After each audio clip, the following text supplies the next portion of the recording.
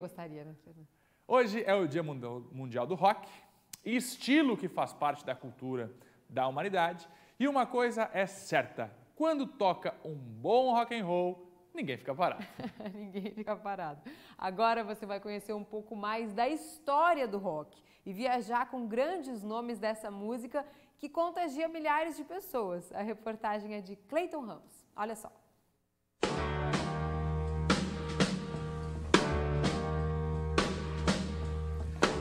Bom e velho rock and roll, hoje é o dia dele.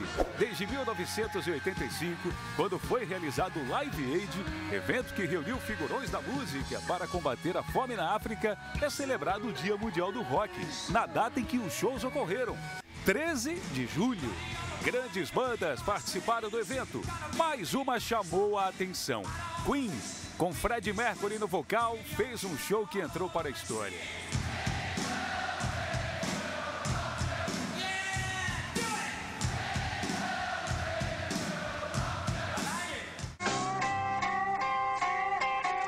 E por falar em história, esse é um estilo musical que surgiu nos Estados Unidos no final dos anos 40, início dos anos 50, com raízes nos estilos musicais norte-americanos, como country, blues e gospel, e que rapidamente se espalhou pelo resto do mundo.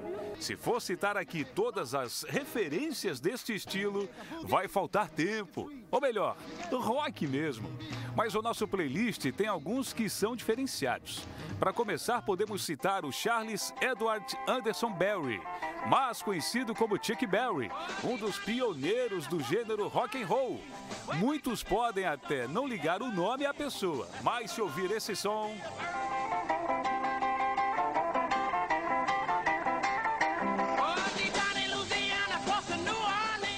O rock também teve a sua majestade, Elvis Presley, um dos mais significantes ícones culturais populares do século XX. Antes dele, o rock era um, e depois, bom, a história se encarregou, né?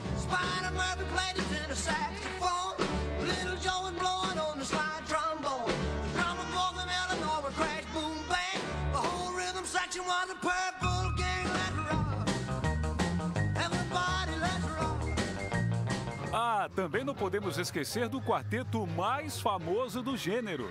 Acho que não precisamos dizer qual é a banda, né?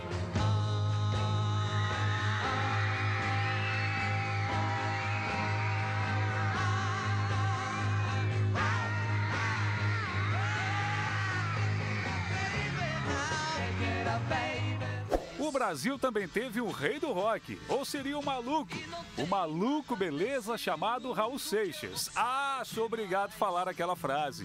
Toca, Raul! Eu nasci há 10 mil anos atrás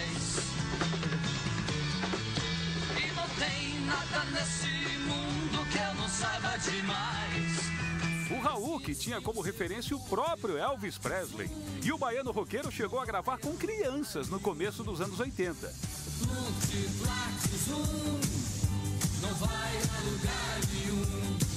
Pois é, tem criança que adora um rock and roll. Até um filme foi criado sobre isso.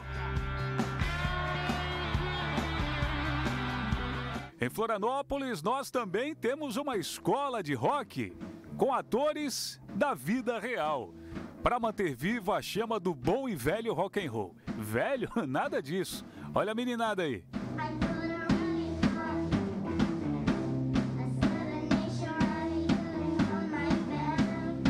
Vou te fazer uma pergunta, vou ficar do teu tamanho para ficar igual. O que, que tu gosta de rock and roll? Uh, mim, rock and roll e a música é minha vida. Eu gosto muito de Guns N' Roses, muito de Bon Jovi. E daí é só pauleira aí. E tu, por que, que gosta do rock and roll, Ana? Ah, eu adoro rock and roll porque eu, eu ouvia desde pequena. Rock para mim, ele significa liberdade, se eu fosse expressar em poucas palavras. A Bia tem 13 anos, toca bateria, é fã do Queen. O que, que é o rock pra ti, Bia? O rock para mim é uma expressão musical que se tornou muito mais que isso um estilo de vida. As pessoas não veem um rock só como antigamente como metal pesado, mas sim como rock, indie, metal, ópera, até clássico. O rock é um estilo de vida como uma expressão de um estilo de vida. é, junta pessoas do mundo inteiro com um estilo de música que está há décadas no nosso sangue. Gabriel tem 16 anos, já deu para sentir, é apaixonado por guitarra, adora um som pesado, rock.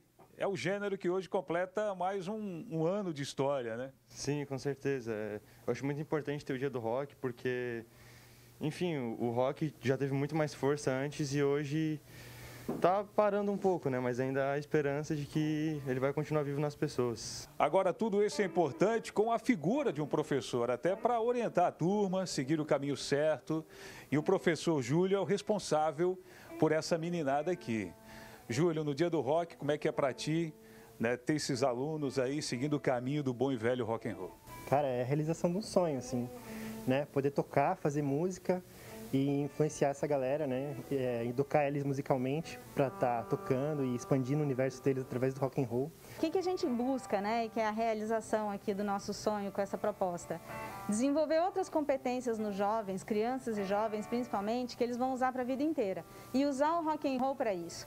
Então, o trabalho aqui, que é pegar as crianças e adolescentes e botar no palco, também tem essa função, né? essa, essa, esse objetivo de desenvolver autoconfiança, trabalho em equipe, desinibição, todas é, é, questões que eles vão precisar para o resto da vida deles, seja para a carreira que eles escolherem. Né?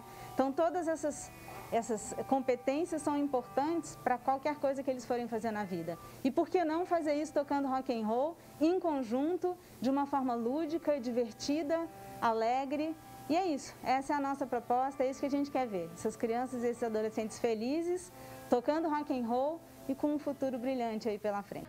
É o rock, amigos, um estilo com mais de 70 anos. E se depender dessa geração, vai continuar por muito tempo.